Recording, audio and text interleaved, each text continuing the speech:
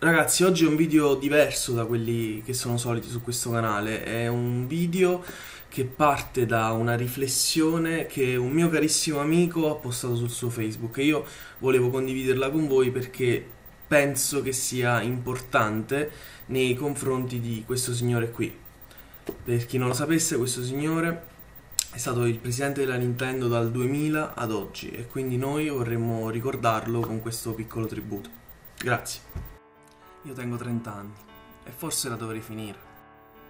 Molti di voi magari mi trovano simpatico, altri mi schifano perché sono sempre fuori dai gangheri. Ma la verità è che ho uno stragrande debito nei confronti della Nintendo. Quando ero piccolo avevo pochi amici perché, beh, facevo schifo al cazzo. E mi divertivo con i videogiochi. La Nintendo mi ha dimostrato che è possibile però essere un supereroe con la panza e i baffi. È possibile sconfiggere cattivi buffi e salvare principesse che poi alla fine neanche te la danno. Cioè praticamente la mia vita. È possibile essere Mario così. Perché Super Mario vive in un mondo delineato da pochi tratti decisi. Denti, spuntoni, conchiglie, gusci. È il mondo in cui voglio vivere. A me bastano 8 bit. Vivo a 8 bit alla volta.